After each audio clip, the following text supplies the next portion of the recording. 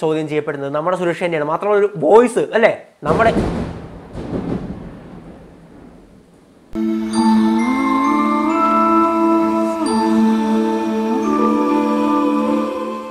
എല്ലാവർക്കും നമസ്കാരം. ഞാൻ അശ്വിൻ. എന്താണ് ക്ലബ് ഹൗസ് എന്ന് ഇനി ആരോടും പറയേണ്ട കാര്യമില്ല എന്ന് ഞാൻ വിചാരിക്കുന്നു. കാരണം നമുക്ക് പ്രത്യേകിച്ച് മലയാളികൾക്കല്ലേ അത്രത്തോളം നല്ലവണ്ണം അറിയാം എന്താണ് സംഭവം എന്ന്.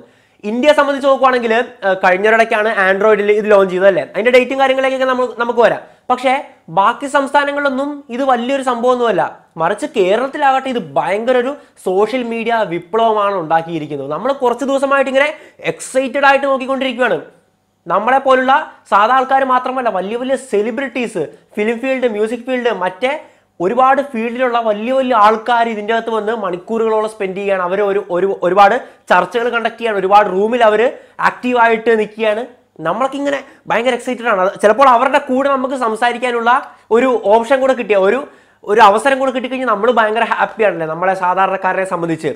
ഒരു കാര്യം പറയുവാണെങ്കിൽ ഞാൻ ഇത്രത്തോളം ദിവസം നല്ല അഡിക്റ്റഡ് ആയിട്ട് തന്നെയാണ് പോയിക്കൊണ്ടിരുന്നത്. അതുകൊണ്ട് തന്നെയാണ് പ്രധാനമായിട്ട് വീഡിയോ ഒന്നും ചെയ്യാൻ പറ്റാത്ത അവസ്ഥയിലേക്ക് കാര്യങ്ങൾ മാറി. നിങ്ങളും കുറേ പേരൊക്കെ അങ്ങനെയാണെന്ന് വിചാരിക്കുന്നു. ഇപ്പോൾ ഞാൻ ജസ്റ്റ് ആ ഒരു അഞ്ച് മിനിറ്റ് ഇതിലോട്ട് കയറിയിട്ട് പോകാം. എന്നായിരിക്കും വിചാരിച്ചായിരിക്കും അത് എടുക്കുന്നത്. എന്നിട്ടൊന്ന് ഉറങ്ങണം. എന്നിട്ട് നമുക്ക് നമ്മുടെ വർക്കിലേക്ക് പോകണം പക്ഷേ അതിന്റെ അകത്ത് കയറും നമ്മുടെ യൂട്യൂബേഴ്സിന്റെ ഏതെങ്കിലും റൂം കാണും. നിങ്ങൾ ഇന്നലെ രാത്രിയിലൊക്കെ ചിലർ കണ്ടിട്ടുണ്ടാവുമല്ലോ നമ്മുടെ ഒരുപാട് കേരളത്തിലെ പ്രമുഖരായിട്ടുള്ള യൂട്യൂബേഴ്സ് പിന്നെ നമ്മുടെ പാലാ സജി സാറൊക്കെയുള്ള ഒരു റൂം ഇന്നലെ രാത്രിയിലുണ്ടായിരുന്നു. അപ്പോൾ അതിലോട്ട് കയറും പിന്നെ അവർ സ്പീക്കർ മോഡറേറ്ററൊക്കെ ആയിട്ട് പിടിച്ചിട്ട് നമുക്ക് ഇറങ്ങി പോരാൻ പറ്റാത്ത അവസ്ഥയാണ്. മാത്രമല്ല സത്യം പറഞ്ഞാൽ റൂം എൻജോയ് ചെയ്യുന്ന കൂടെ ഉണ്ട് നിങ്ങളുടെ അവസ്ഥ ഇതൊക്കെ തന്നെ ആവുമെന്ന് ഞാൻ പ്രതീക്ഷിക്കുന്നു. എന്തായാലും അതൊക്കെ പോട്ടെ അതൊക്കെ അതിന്റെ ഒരു വശം മാത്രമാണല്ലേ? ഇനി ഞാൻ സംസാരിക്കാൻ പോകുന്ന സംഭവം പല രാജ്യങ്ങളിലും ചർച്ച ചെയ്യപ്പെടുന്ന നമ്മളെ ഇന്ത്യയെ സംബന്ധിച്ചൊരു കാര്യം എന്തെന്നാൽ നമ്മൾ ഈ പറയുന്ന ഓൺലൈൻ സെക്യൂരിറ്റി നമ്മുടെ പ്രൈവസിയെ പറ്റിയിട്ട് അധികം കൺസേൺഡ് അല്ല. ഇവിടെ ഏത് ആപ്പ് ഏത് വിവരം വേണമെങ്കിലും എടുത്തോട്ടെ നമുക്കതിന് എന്താ എന്നുള്ള ഒരു ചിന്താഗതിയിലേക്കാണ് നമ്മൾ പോയിക്കൊണ്ടിരിക്കുന്നത്. മറിച്ച് ഇപ്പോൾ അമേരിക്കക്കാരെ നോക്കുവാണെങ്കിൽ അവരുടെ പ്രൈവസിയിൽ അവർ ഭയങ്കരമായിട്ട് കൺസേൺഡ് ആണ്. ഏതൊരു ആപ്പിന്റെ പുതിയൊരു സെക്യൂരിറ്റി പ്രശ്നത്തെ പറ്റിയിട്ട് അവർ ചർച്ച ചെയ്യപ്പെട്ടാൽ അവരെല്ലാവരും അതിലോട്ട് ഫോക്കസ് ചെയ്യും കൂടുതൽ ശ്രദ്ധ അതിലേക്ക് കൊടുക്കും. പക്ഷെ നമ്മളാരും അത് ചെയ്യാറില്ല. നമ്മുടെ വേണമെങ്കിൽ പടം അവർക്ക് എടുത്ത് കൊടുക്കുക നിങ്ങളത് കൊണ്ടുപോക്കുമെന്നും പറഞ്ഞു അങ്ങനത്തെ ഒരു മെന്റാലിറ്റിയാണ് നമുക്കുള്ളത്. എന്തായാലും ഇന്ന് ഞാൻ പറയാൻ പോകുന്നത് ക്ലബ് ഹൗസിനെ പറ്റിയിട്ട് ഒരുപാട് ചർച്ച ചെയ്യപ്പെട്ട കാര്യങ്ങളൊക്കെ തന്നെയാണ്. ഒരുപാട് മാധ്യമങ്ങളിൽ വന്നിട്ടുള്ള കാര്യമാണ്. ക്ലബ് ഹൗസിന്റെ സുരക്ഷാ പാളിച്ചകൾ സുരക്ഷാ ലംഘനങ്ങൾ സെക്യൂരിറ്റി ബ്രീച്ചുകൾ നിങ്ങൾ ആരെങ്കിലും കഴിഞ്ഞിടയ്ക്ക് ഈ ഒരു ആപ്പ് ചൈനയിൽ ബാൻ ചെയ്ത വിവരം അറിഞ്ഞിരുന്നോ? എന്തിനായിരുന്നു ചൈനയിൽ ബാൻ ചെയ്തത്? എന്ത് കാര്യങ്ങളാണ് ആ ഒരു ബാനിലേക്ക് നയിച്ചത്? ഇതൊക്കെ നമ്മൾ പരിശോധിക്കുമ്പോഴേക്കും നമുക്കൊക്കെ ചില സംശയങ്ങൾ തോന്നാം. ചില മാധ്യമങ്ങളിൽ വന്ന കാര്യങ്ങൾ നമുക്കൊന്ന് വിശകലനം ചെയ്യാം. എന്നിട്ട് അതിന്റെ ഒരു കൺക്ലൂഷൻ പരമായിട്ട് ചില കാര്യങ്ങൾ കൂടി നമുക്ക് സംസാരിക്കേണ്ടിയിരിക്കുന്നു. ക്ലബ് ഹൗസ് എന്നുള്ളത് ഒരു യു എസ് ബേസ്ഡ് ആയിട്ടുള്ള അമേരിക്കൻ ബേസ്ഡ് ആയിട്ടുള്ള ഒരു ആപ്ലിക്കേഷൻ ആണല്ലേ ഇപ്പോൾ കഴിഞ്ഞിടയ്ക്ക് നമ്മുടെ Indian government Chinese applications ban ചെയ്തിട്ടുണ്ടായിരുന്നു. എന്ത് കാരണമാണ് നമ്മുടെ ഗവൺമെന്റ് പറഞ്ഞത്? നമ്മുടെ സുരക്ഷയെ മുൻനിർത്തിയിട്ടാണ് അല്ലേ? ചൈനീസ് ഗവൺമെന്റിന്റെ ഒരു എല്ലാ രാജ്യങ്ങളും പറയുന്നത് ലോകവ്യാപകമായിട്ട് പറയുന്ന ഒരു കാര്യമാണ് ചൈനീസ് ചൈന അല്ലെങ്കിൽ ചൈനീസ് ഗവൺമെന്റ് ഒരു സൈബർ അറ്റാക്ക് പ്ലാൻ ചെയ്യുന്നുണ്ടെന്ന്. അപ്പോൾ നമ്മുടെ രാജ്യ സുരക്ഷയെ മുൻനിർത്തിയിട്ട് പബ്ജി അടക്കമുള്ള പബ്ജി ടിക്ടോക്ക് അടക്കമുള്ള ഒരുപാട് ആപ്ലിക്കേഷൻസ് നമ്മുടെ ഇന്ത്യൻ ഗവൺമെന്റ് ബാൻ ചെയ്തിട്ടുണ്ടായിരുന്നു. പക്ഷേ നമ്മൾ ക്ലബ് ഹൗസിന്റെ കാര്യത്തിലേക്ക് വരുമ്പോഴേക്കും നമ്മൾ ആദ്യം ചിന്തിച്ചത് നമ്മുടെ ഇന്ത്യൻ ഗവൺമെന്റ് ഇത് ബാൻ ചെയ്യും. ഇത് ചൈനീസ് ആപ്ലിക്കേഷൻ ആണോ എന്നാണ് നമ്മൾ നോക്കിയത്. പക്ഷെ നോക്കുമ്പോൾ നമുക്ക് കാണാൻ സാധിച്ചത് ഇതൊരു ചൈനീസ് ആപ്ലിക്കേഷൻ അല്ല മറിച്ച് യു എസ് ബേസ്ഡ് ആയിട്ടുള്ള അമേരിക്ക ബേസ്ഡ് ആയിട്ടുള്ള ഒരു ആപ്ലിക്കേഷൻ എന്നാണല്ലേ? അങ്ങനെ ഇരിക്കുമ്പോഴാണ് അങ്ങനെയൊക്കെ ശാന്തസുന്ദരമായിട്ട് കാര്യങ്ങൾ പോയിക്കൊണ്ടിരിക്കുമ്പോഴാണ് ഒരു കാര്യം സംഭവിക്കുന്നത്. രണ്ടായിരത്തി ഇരുപത്തി ഒന്ന് ഫെബ്രുവരി മാസം നമ്മൾ ശ്രദ്ധിക്കേണ്ട കാര്യം എന്തെന്നാൽ അന്ന് ആൻഡ്രോയിഡിനുള്ള വെർഷൻ റിലീസ് ചെയ്തിട്ടില്ല. രണ്ടായിരത്തി ഇരുപത് മാർച്ച് മാസങ്ങളിലാണ് ഐ ഒ എസിനുള്ള ആപ്പിൾ ഫോൺസിനുള്ള സോഫ്റ്റ്വെയർ ഒരു വെർഷൻ ഇവർ ഇറക്കുന്നത്. നമ്മുടെ ആൻഡ്രോയിഡിന് ഇറങ്ങിയത് കഴിഞ്ഞ കുറച്ച് നാൾക്ക് മുമ്പാണ്. വളരെ കുറച്ച് നാളായിട്ടുള്ളൂ ആൻഡ്രോയിഡിന് ഇറങ്ങിയിട്ടുള്ളൂ കറക്റ്റ് പറയുവാണെങ്കിൽ രണ്ടായിരത്തി ഇരുപത്തി ഒന്ന് മെയ്യിലാണ് ആൻഡ്രോയിഡിലേക്ക് വേണ്ടിയിട്ടുള്ള വെർഷൻ ഇറങ്ങുന്നത്. അതായത് ഈ ഒരു ഫെബ്രുവരി മാസത്തിൽ സംഭവം നടക്കുന്ന മാസത്തിൽ ആൻഡ്രോയിഡിന്റെ വെർഷൻ മാത്രമേ അവിടെ ഉള്ളൂ. സംഭവിച്ച കാര്യം എന്തെന്നാൽ ഈ ഒരു ക്ലബ് ഹൗസിൽ ഒരുപാട് ചാറ്റ് റൂംസിൽ പല പല ഡിസ്കഷൻസ് പോയിക്കൊണ്ടിരിക്കുകയാണ്. അത് ക്ലബ് ഹൗസിൽ മാത്രം ഒതുങ്ങേണ്ട കാര്യമാണല്ലോ. ആപ്പിളിൽ ഒരു സ്പെഷ്യൽ ഫീച്ചർ കൂടെ ഉണ്ട്. നമ്മൾ സ്ക്രീൻ റെക്കോർഡ് ചെയ്യാൻ പോയാൽ പോലും അവർ നമ്മുടെ അക്കൗണ്ട് ബ്ലോക്ക് ചെയ്യുമെന്നും പറഞ്ഞ് നമുക്കൊരു നോട്ടിഫിക്കേഷൻ കാണിക്കും. പക്ഷേ മറിച്ച് സംഭവിച്ച കാര്യം എന്തെന്നാൽ പല പല റൂംസിലെ ചാറ്റുകൾ വേറൊരു തേർഡ് പാർട്ടി വെബ്സൈറ്റിൽ സ്ട്രീം ചെയ്യാൻ ലൈവായിട്ട് സ്ട്രീം ചെയ്യാൻ അവൈലബിൾ ആകുകയാണ് അതെങ്ങനെ സംഭവിച്ചു എന്നുള്ളത് കാര്യമാണ് ഒരുപാട് സുരക്ഷാ പാളിച്ചകൾ ഇതിലുണ്ട് എന്നുള്ളൊരു രാജ്യവ്യാപകമായിട്ടുള്ള ചർച്ചകളിലേക്ക് നയിച്ചത്. ഇപ്പോൾ നിങ്ങൾ ചിന്തിക്കും എന്റെ ഫോൺ എനിക്ക് ലൈവായിട്ട് സ്ട്രീം ചെയ്യാൻ കൊടുക്കുക. അല്ലെ? കംപ്ലീറ്റ് എന്തെങ്കിലും ഇപ്പോൾ നമ്മുടെ ടീം വ്യൂവർ പോലുള്ള സോഫ്റ്റ്വെയർ ഇട്ടു ഇട്ടുകൊണ്ട് എന്റെ ഫോൺ കംപ്ലീറ്റ് വേറൊരാൾക്ക് സ്ട്രീം ചെയ്യുക കാണുകയും ചെയ്യാം. അതുപോലെ ഈ ഒരു യൂസർ ഐഫോണിൽ നിന്ന് ചെയ്താകാം എന്ന് നമുക്ക് വിചാരിക്കാം അല്ലേ? പക്ഷെ അങ്ങനെ ആയിരുന്നില്ല. ഒരേ സമയം ഒരേ യൂസറിന്റെ കീഴിൽ നിന്നും പല പല റൂംസിലെ ചാറ്റ് ഒരേ സമയത്താണ് അത് സ്ട്രീം ചെയ്യപ്പെട്ടത്. അതുകൊണ്ട് തന്നെ നമുക്ക് എന്ത് മനസ്സിലാക്കാം? അത് ജസ്റ്റ് ആ സ്ക്രീൻ റെക്കോർഡോ അല്ലെങ്കിൽ ഫോണിന്റെ സ്ക്രീൻ ഷെയർ ചെയ്തോ ഒന്നുമല്ല. മറിച്ച് ഒരു കാര്യം കൂടി പറയുവാണെങ്കിൽ ഐഫോൺ ഒരുപാട് സെക്യൂരിറ്റി ഫീച്ചേഴ്സ് കൂടുതലാണ്. അപ്പോൾ ഇതുപോലത്തെ സ്ക്രീൻ ഷെയറിംഗ് ഒക്കെ എത്രത്തോളം പോസിബിൾ ആണെന്ന് കൂടി നമ്മൾ ചിന്തിക്കേണ്ടിയിരിക്കുന്നു. സ്ക്രീൻ ഷെയറിംഗ് ആണെങ്കിൽ കൂടി. പക്ഷെ ഒരിക്കലും അതായിരുന്നില്ല.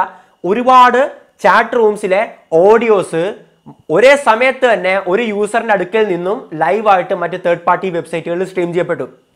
അങ്ങനെ ഈ ഒരു പ്രശ്നം ചർച്ചയായപ്പോഴേക്കും ഒരുപാട് പേര് പറഞ്ഞ ഒരു പേരാണ് അഖോര എന്നുള്ളത്. അതായത് ഇതൊരു യു എസ് ബേസ്ഡ് ആപ്പ് ആണെങ്കിലും ഇതിന്റെ സെർവറുകൾ ഇരിക്കുന്നത് ഈ പറയുന്ന ആപ്ലിക്കേഷന് ഒരു ബാക്ക് എൻഡ് പ്രൊവൈഡ് ചെയ്യുന്ന അവർക്ക് അവർക്ക് വേണ്ടിയിട്ടുള്ള software software support server support എല്ലാം പ്രൊവൈഡ് ചെയ്യുന്നത് ചൈനയിലെ ഷാൻഖായ് ബേസ്ഡ് ആയിട്ടുള്ള അഖോര എന്ന് പറയുന്ന ഒരു കമ്പനിയാണെന്നുള്ള വാദങ്ങൾ പലയിടത്തുനിന്നും ഉന്നയിക്കപ്പെട്ടു.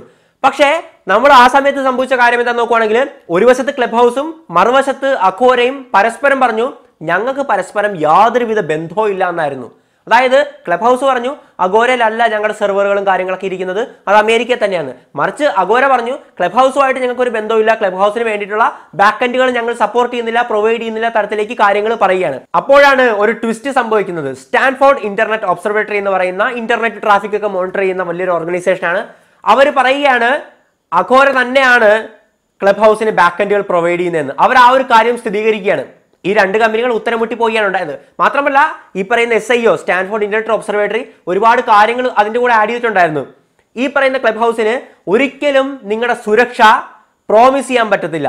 ഒരിക്കലും നിങ്ങളുടെ നിങ്ങൾ എപ്പോഴും സെക്യൂർ ആയിരിക്കും എന്ന് അവർക്ക് ഉറപ്പിച്ച് പറയാൻ പറ്റത്തില്ല. കാരണം ഒരുപാട് ഡാറ്റാസ് ഇതിനോടകം തന്നെ ലീക്കായി പോകുന്നുണ്ട്. മാത്രമല്ല ഈ ഒരു അഘോര അഘോരയിലേക്ക് ഈ ഒരു ക്ലബ് ഹൗസ് ഐ ഡിയും ആ ഒരു റൂം ഐ ഡി എത്തുന്നത് വെറും നമ്പറുകളായിട്ട് മാത്രമാണ്. ചില ഇപ്പൊ നമ്മൾ വാട്സാപ്പ് ചെയ്യുന്ന ഒരു ഡാറ്റ പുറത്തോട്ട് പോകുമ്പോൾ അത് എൻക്രിപ്റ്റഡ് ആയിട്ടാണ് പോകുന്നത് അല്ലേ? അതിന്റെ ഹെക്സും ഹാഷൊക്കെ ആയിട്ടൊക്കെയാണ് പോകുന്നത്. പക്ഷേ ക്ലബ് ഹൗസിൽ നിന്ന് ഡയറക്റ്റ് ടെക്സ്റ്റ് ആയിട്ട് പോകുമ്പോഴേക്കും ഇന്റർനെറ്റ് ട്രാഫിക് നടുക്ക് നിന്ന് മോണിറ്റർ ചെയ്യുന്ന ആൾക്ക് ആ ഒരു കാര്യങ്ങളെല്ലാം പിടിച്ചെടുത്ത് ആ ഒരു റൂമിലേക്ക് ആക്സസ് ഉണ്ടാകും.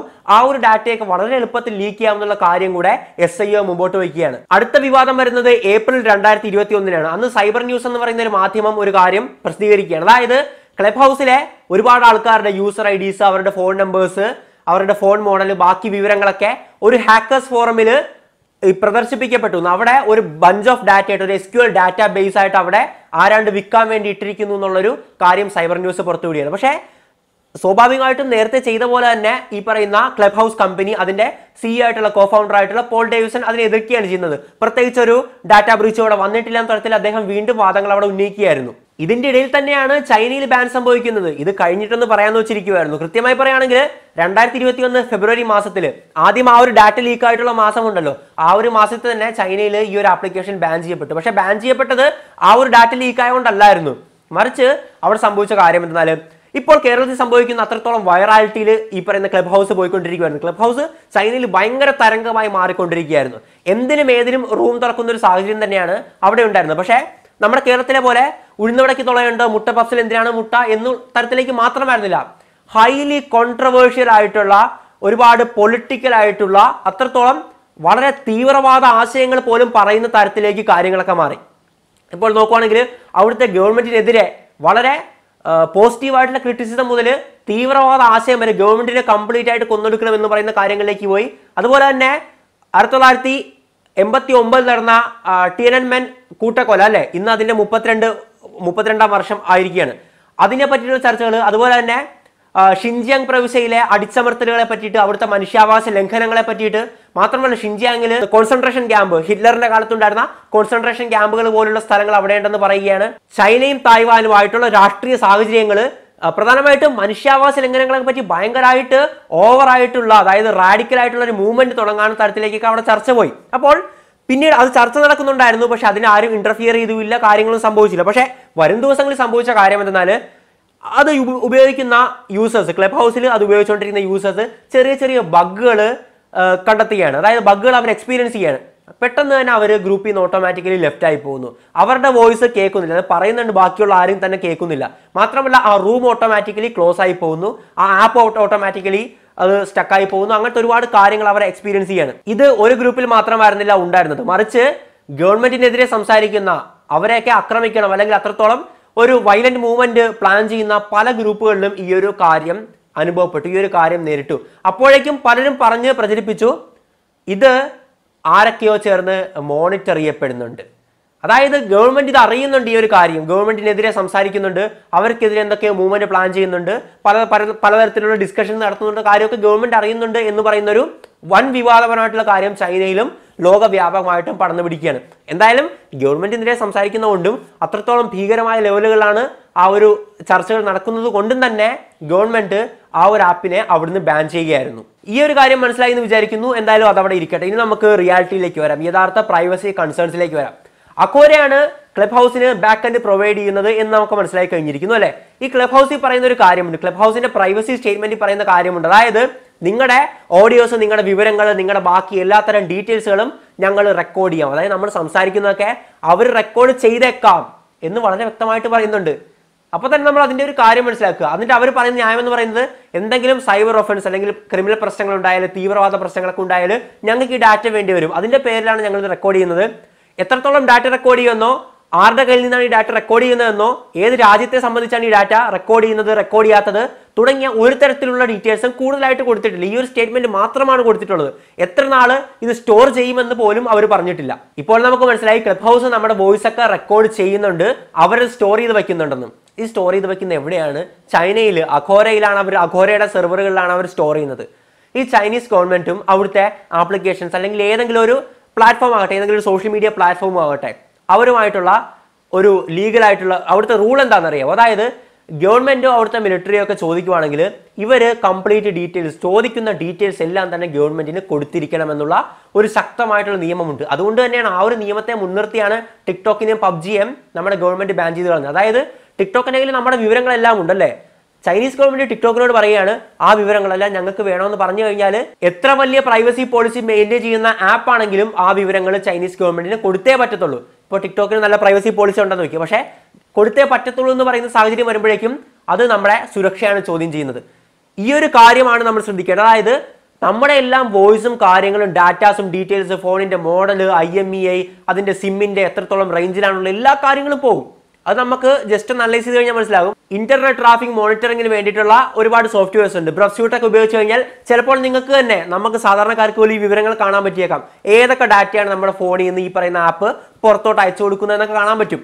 എന്തായാലും ഈ എല്ലാത്തരം വിവരങ്ങളും അവരുടെ കൈവശം ഇരിക്കുകയും ചൈനീസ് ഗവൺമെന്റ് ചോദിച്ചാൽ ചൈനീസ് ഗവൺമെന്റ് കൊടുക്കുകയും ചെയ്യും എന്നുള്ളപ്പോൾ ആരുടെ സുരക്ഷയാണ് ചോദ്യം ചെയ്യപ്പെടുന്നത്? നമ്മുടെ സുരക്ഷ തന്നെയാണ്. മാത്രമല്ല ഒരു വോയിസ് അല്ലേ? നമ്മുടെ ഇപ്പോൾ എന്റെ സുരക്ഷയെ ചോദ്യം ചെയ്യും. ഇവിടെ മിന്നൽ വന്ന് വല്ലതൊക്കെ എന്തെങ്കിലുമൊക്കെ പറ്റാം. എന്തായാലും ആ നല്ല ഇടിയും മഴയും മിന്നലൊക്കെ ഉണ്ട്. എന്തായാലും നമ്മുടെ പറഞ്ഞു നിർത്തി അവിടെയായിരുന്നു. ആ സുരക്ഷയെ ചോദ്യം ചെയ്യപ്പെടാം എന്നുള്ളതുകൊണ്ട് തന്നെയാണ് ഈ ഒരു കാര്യം ഇത്രത്തോളം ചർച്ച ചെയ്യപ്പെടേണ്ടതായിട്ടുള്ളത്. ക്ലബ് ഹൗസ് എന്ന app United States Securities and Exchange കമ്മീഷനിൽ രജിസ്റ്റർ ചെയ്യുമ്പോഴേക്കും ആ ഒരു ഡ്രാഫ്റ്റിൽ അവർ വ്യക്തമായിട്ട് ഈ കാര്യം പറഞ്ഞിട്ടുണ്ട്. ചൈനീസ് ഗവൺമെന്റ് ചോദിച്ചു കഴിഞ്ഞാൽ ഞങ്ങൾ ഡാറ്റ കൊടുക്കും. നിങ്ങളുടെ യു എസ് സിറ്റിസൺസിന്റെ ആയാലും കൊടുക്കുമെന്നാണ് അവർ ആ ഒരു കാര്യം കൊണ്ട് ഉദ്ദേശിക്കുന്നത്. മറ്റൊരു കാര്യം കൂടി നമുക്ക് ചിന്തിക്കാവുന്നതാണ്. ചൈനയിൽ ക്ലബ് ഹൗസുമായിട്ട് ബന്ധപ്പെട്ട ഒരുപാട് പ്രശ്നങ്ങൾ ഉണ്ടായിട്ടുണ്ടല്ലോ അല്ലെ? പക്ഷേ ചൈന ഒരിക്കൽ പോലും അമേരിക്കയോട് അതായത് യു എസ് ബേസ്ഡ് ആയിട്ടുള്ള ആപ്പാണ് ഈ പറയുന്ന ക്ലബ് ഹൗസ് എന്ന് പറയുന്നത് അല്ലേ? ഈ ഒരു യൂസേഴ്സിന്റെ ഡാറ്റ ഫുൾ ഞങ്ങൾക്ക് വേണം. ഇവർ തീവ്രവാദ പ്രവർത്തനങ്ങൾ ആഹ്വാനം ചെയ്തവരാണ്. ഇവരുടെ ഡാറ്റ ഞങ്ങൾക്ക് കിട്ടണമെന്ന് ചൈന ഒരിക്കൽ പോലും ഈ പറയുന്ന ക്ലബ് ഹൗസിന്റെ യു എസ് ബേസ്ഡ് ആയിട്ടുള്ള ആ ഒരു കമ്പനിക്ക് ഒരു നോട്ടീസും കൊടുത്തിട്ടില്ല. അപ്പോൾ നമുക്ക് എന്ത് മനസ്സിലാക്കാൻ സാധിക്കുന്നു? ചൈനീസ് ഗവൺമെന്റിന് ഡയറക്റ്റ് ആയിട്ട് ഈ പറയുന്ന ഡാറ്റ എല്ലാം അഘോര വഴി ആക്സസ് ചെയ്യാൻ പറ്റുന്നു എന്ന് നമുക്ക് ചിന്തിക്കാവുന്നേ ഉള്ളൂ. അത് ശരിയാകാം ശരിയാതിരിക്കാം. നമുക്കൊരു അനുമാനം മാത്രമാണ്. ഒരുപാട് സൈബർ സെക്യൂരിറ്റി വിദഗ്ധരെ മുമ്പോട്ട് വയ്ക്കുന്ന ഒരു വാദം കൂടിയാണിത്. ഇനി നമ്മൾ ചിന്തിക്കേണ്ടത് ഇങ്ങനത്തെ കാര്യങ്ങളൊക്കെ നടക്കാറുണ്ടോ എന്നാണ്. തീർച്ചയായിട്ടും നടക്കാറുണ്ട്. നമ്മൾ ഉപയോഗിക്കുന്ന ഫേസ്ബുക്ക് ഇല്ലേ? പണ്ട് ഫേസ്ബുക്ക് കാംബ്രിഡ്ജ് അനാലിറ്റിക്ക സ്കാം എന്ന് പറയുന്ന ഒരു സംഭവം ഉണ്ടായിരുന്നു അല്ലെ? രണ്ടായിരത്തി പത്തൊമ്പതിലായിരുന്നു അന്ന് ഫെഡറൽ ട്രേഡ് കമ്മീഷൻ അഞ്ച് മില്യൺ യു എസ് ഡോളറാണ് ഫൈൻ അടിക്കുന്നത്. ഒന്നാലോചിച്ച് നോക്കുക നമ്മളെല്ലാം വളരെ ട്രസ്റ്റ് വർത്തിയായിട്ട് വളരെ വിശ്വാസ യോഗ്യതയോടെ ഉപയോഗിക്കുന്ന ഫേസ്ബുക്കിനാണ് ഈ ഫൈൻ അടിക്കുന്നത്. എന്തിനായിരുന്നു? കാംബ്രിഡ്ജ് അനാലിറ്റിക്ക എന്ന് പറയുന്ന ഒരു ഡാറ്റ അനാലിറ്റിക്സ് കമ്പനിക്ക് ഫേസ്ബുക്ക് യൂസേഴ്സിന്റെ എല്ലാ വിവരങ്ങളും എടുത്തു കൊടുക്കാനുള്ള ഒരു അനുമതി ഫേസ്ബുക്ക് നമ്മളോട് ചോദിക്കാതെ ഫേസ്ബുക്കിന്റെ യൂസേഴ്സിനോട് ചോദിക്കാതെ കൊടുക്കുകയായിരുന്നു. അതായത് മൂന്നാമതൊരു കമ്പനി ഫേസ്ബുക്കിലൂടെ അവരുടെ യൂസേഴ്സിന്റെ വിവരങ്ങൾ കൊണ്ടുപോവുകയായിരുന്നു. നമ്മളിവിടെ നിൽക്കുന്നു ഫേസ്ബുക്ക് ഇവിടെ നിൽക്കുന്നു അല്ലേ? മറ്റേ വേറൊരുത്തൻ ഇവിടുന്ന് ഇങ്ങനെ ഊറ്റുന്നു. അതിന്റെ അനുമതി കൊടുത്തത് ഫേസ്ബുക്കാണ് ആ ഒരു പ്രൈവസി പോളിസിയെ ബന്ധപ്പെട്ട് ഫേസ്ബുക്കിന് പോലും ഇത്ര അഞ്ച് മില്യൺ യു എസ് ഡോളർ അഞ്ച് billion U S dollar fine അടിക്കപ്പെട്ടു പിന്നെയാണ് പുതിയതായിട്ട് വന്ന ഈ ക്ലബ് ഹൗസിന്റെ കാര്യം നമ്മൾ ചിന്തിക്കുന്നത്. അതും ചൈനയിൽ സെർവർ ഉള്ളത്. ഇതൊക്കെ ലീക്കാകാനുള്ള സാധ്യത അല്ലെങ്കിൽ മറ്റു കാര്യങ്ങൾക്ക് ഉപയോഗിക്കാനുള്ള സാധ്യതകൾ വളരെ കൂടുതലാണ്. പണ്ട് ഹുവാവയുടെ ഫോൺസ് പല രാജ്യങ്ങളിലും ബാൻ ചെയ്ത കാര്യം നമ്മൾ ഓർമ്മയുണ്ട്. ഫോൺസ് അല്ല അവരുടെ പല പല സർവീസുകൾ ഇപ്പോൾ ഫൈവ് ജിയുടെ സിഗ്നൽസ് ഫൈവ് ജിയുടെ സ്പെക്ട്രം അവർ ബാൻ ചെയ്യുക അങ്ങനെ ഒരുപാട് വിഷയങ്ങൾ ഹുവാവൈ ആയിട്ട് ബന്ധപ്പെട്ടുണ്ടായല്ലേ ഇതും ഈ പറയുന്ന ചൈനയുടെ ചൈനയെ ബന്ധപ്പെട്ട പ്രൈവസി പോളിസി ഇഷ്യൂസ് കാരണമാണ്. അപ്പോൾ ഇതൊക്കെ സംഭവിക്കുന്ന കാര്യങ്ങൾ തന്നെയാണ്. ഒരുപാട് പ്രശ്നങ്ങൾ ഉണ്ടാകാറുണ്ട്. ഒരു കാര്യം പറയുവാണെങ്കിൽ ഇതൊക്കെ ഇന്ന് നമ്മൾ സംസാരിക്കുമല്ലേ ഇപ്പോൾ ഒരു പത്ത് കൊല്ലം മുമ്പ് അല്ലെങ്കിൽ പതിനഞ്ച് കൊല്ലം മുമ്പ് നമ്മൾ എന്തൊക്കെയായിരുന്നു സ്കൂളുകളിൽ എസ് എഴുതാൻ തന്ന ടോപ്പിക് എന്ന് പറഞ്ഞാൽ ഇന്റർനെറ്റ് യൂസേജ് ഗുണമോ ദോഷമോ എന്നും പറഞ്ഞായിരുന്നു ഇന്റർനെറ്റ് നല്ലതോ ചീത്തയോ എന്നും പറഞ്ഞായിരുന്നല്ലേ? ഇന്ന് അതേ സ്കൂളുകൾ കുട്ടികളെ പഠിപ്പിക്കുന്നത് ഇന്റർനെറ്റ് അല്ലെങ്കിൽ സോഷ്യൽ മീഡിയ നല്ലതോ ചീത്തോ അതായിരുന്നു ടോപ്പിക് അതേ കുട്ടികളെ പഠിപ്പിക്കുന്ന ഈ പറയുന്ന ഇന്റർനെറ്റിലുള്ള അഥവാ സോഷ്യൽ മീഡിയയിലൊക്കെ കൂടെ തന്നെയാണ് കുട്ടികളെ പഠിപ്പിക്കുന്നത്. അപ്പോൾ ഇന്നിപ്പോൾ ഞാൻ ചർച്ച ചെയ്യുന്ന കോണ്ടസ്റ്റ് നാളെ മറ്റൊരു കാലത്ത് ചിലപ്പോൾ ഒരു മാസത്തിനപ്പുറം പോലും ഈ ഒരു കോണ്ടസ്റ്റ് അവിടെ നിലനിൽക്കത്തില്ല എന്നൊരു കാര്യം കൂടി ഞാൻ ഓർമ്മിപ്പിക്കുകയാണ്. പണ്ട് കമ്പ്യൂട്ടറുകൾ നല്ലതെന്നും പറഞ്ഞ് നമ്മൾ ചർച്ച ചെയ്യപ്പെട്ടുകൊണ്ടിരുന്നു അല്ലേ? ഒരുപാട് പേര് അതിനെ എതിർത്ത്. അന്ന് പിന്നീട് എതിർത്തവർ തന്നെ അത് ഉപയോഗിക്കേണ്ട ഒരു സാഹചര്യം വന്നു. അപ്പോൾ കാലത്തിനൊത്ത് കോലവും മാറാം. അത് ആ ഒരു കാര്യം മനസ്സിലാക്കി വേണം ഈ ഒരു വീഡിയോ കാണാൻ. പിന്നെ പറയുവാണെങ്കിൽ ഏറ്റവും പ്രധാനമായിട്ട് ഒരു കാര്യം കൂടി പറഞ്ഞ് ഈ വീഡിയോ അവസാനിപ്പിക്കാം. ഒരുപാട് നേരമായി എന്തായാലും നമ്മൾ ക്ലബ് ഹൗസിൽ ഒരു റൂമിൽ കയറുമ്പോഴേക്കും നമ്മുടെ കൂട്ടുകാരോട് നമ്മുടെ ഏറ്റവും അടുത്ത സുഹൃത്തുക്കളായിരിക്കും അവിടെയുള്ളത് അല്ലേ? നമ്മൾ മുഖത്ത് നോക്കി നമ്മളൊരു മുറിയിൽ കൂടി സംസാരിക്കുമ്പോഴേക്കും പല കാര്യങ്ങൾ സംസാരിക്കും. പുറത്ത് പറയാൻ കൊള്ളാത്ത നമുക്ക് ഒരിക്കലും പബ്ലിക്കായിട്ട് പറയാൻ പറ്റാത്ത കാര്യങ്ങൾ നമ്മൾ അവരോട് പറയും. നമ്മൾ ചിലപ്പോൾ അവരെ രണ്ട് പോകുന്ന പലതരത്തിലുള്ള വാക്കുകളൊക്കെ വിളിച്ചേക്കാം. അതൊക്കെ നമ്മൾ സൗഹൃദപരമായിട്ട് വിളിക്കുന്നതാണ്. ചീത്ത വിളിച്ചേക്കാം. അങ്ങനെ കാര്യങ്ങളൊക്കെ പോലെ പക്ഷേ ഈ ഒരു ഫീൽ നമ്മൾ അറിയാതെ ക്ലബ് ഹൗസ് വരുമ്പോൾ നമുക്കുണ്ടാവും. അതായത് നമ്മുടെ സ്പീക്കേഴ്സ് ആയിട്ടുള്ള എല്ലാ സുഹൃത്തുക്കളാണ്. നമ്മളങ്ങോട്ട് കയറൂരി വിട്ട് സംസാരിക്കുകയാണ്. എനിക്ക് സംഭവിക്കുന്ന കാര്യം തന്നെയാണ്. പക്ഷേ കുറച്ച് ഞാൻ ശ്രദ്ധ കൊടുക്കാറുണ്ട്. ഫണ്ണി ആയിട്ടുള്ള കാര്യങ്ങൾ മാത്രമാണ് അങ്ങനെ സംസാരിക്കാറുള്ളത്. ഒരിക്കലും നമ്മൾ എക്സ്പോസ്ഡ് ആകുന്ന തരത്തിൽ ആരും അതിന്റെ അകത്ത് സംസാരിച്ച് പോകൽ ഇതൊക്കെ സ്ക്രീൻ റെക്കോർഡ് ചെയ്യപ്പെടാം. മറിച്ച് നാളെ മറ്റൊരു പ്ലാറ്റ്ഫോമിൽ അത് പ്രദർശിപ്പിക്കപ്പെട്ടേക്കാം. അവിടെ ആരെങ്കിലും പബ്ലിഷ് ചെയ്യപ്പെട്ടേക്കാം. നിങ്ങൾക്ക് പല വിഷയങ്ങളും വന്നേക്കാം. ഇന്നലെ തന്നെ കണ്ടായിരുന്നു വളരെ മ്ലേച്ഛമായിട്ടുള്ള സംഭാഷണങ്ങൾ മലയാളികൾ നടത്തുന്നത്. സ്ത്രീകൾ നടത്തുന്ന ഗ്രൂപ്പ് പുരുഷന്മാർ നടത്തുന്ന ഗ്രൂപ്പ് വളരെ തരം താഴ്ന്ന ഗ്രൂപ്പുകളിൽ ചർച്ച സ്ക്രീൻ റെക്കോർഡ് ചെയ്യപ്പെട്ട് പല ഗ്രൂപ്പുകളിലും പ്രചരിക്കുന്നുണ്ട്. വാട്സാപ്പ് ഗ്രൂപ്പുകളിലും പ്രചരിപ്പിക്കുന്നുണ്ട്. അപ്പോൾ ഇതൊക്കെ പിന്നീട് നമ്മൾ ആ ഒരു ഫ്ലോയ്ക്ക് സംസാരിക്കുന്നതായിരിക്കും ആ ഒരു കോണ്ടസ്റ്റിൽ സംസാരിക്കുന്നതായിരിക്കും. പക്ഷേ പിന്നീട് നമുക്കിതൊക്കെ ഒരു ദോഷമായിട്ട് വന്ന് ഭവിച്ചേക്കാം. അപ്പോൾ ആ ഒരു കാര്യം ശ്രദ്ധിച്ച് വളരെ സൂക്ഷിച്ച് മാത്രം ക്ലബ് ഹൗസിൽ സംസാരിക്കുക കേട്ടിരുന്നു കഴിഞ്ഞാൽ കുഴപ്പമില്ല. സംസാരിക്കുമ്പോഴേക്കും ദയവായിട്ട് ശ്രദ്ധിക്കുക. ഈ പറയുന്ന ഞാൻ തന്നെ നാളെ ഏതെങ്കിലും പ്രശ്നത്തിൽ നിന്ന് സംസാരിച്ച് വളരെ വിവാദം ഉണ്ടാക്കാനുള്ള സാധ്യതകളും വളരെ കൂടുതലാണ് എന്നുള്ളത് തന്നെയാണ് സത്യം. നമുക്ക് അവിടെ ചെല്ലുമ്പോഴേക്കും ഈ കാര്യങ്ങളെല്ലാം മറന്നു പോകും അപ്പോൾ ഇതൊക്കെ തന്നെയാണ് ക്ലബ് ഹൗസിനെ പറ്റി പറയാനുള്ളത്. എന്തായാലും മറ്റൊരു വീഡിയോയിൽ മറ്റൊരു വിഷയമായിട്ട് നമുക്ക് വീണ്ടും കാണാം. It's me Aswin Manappally signing out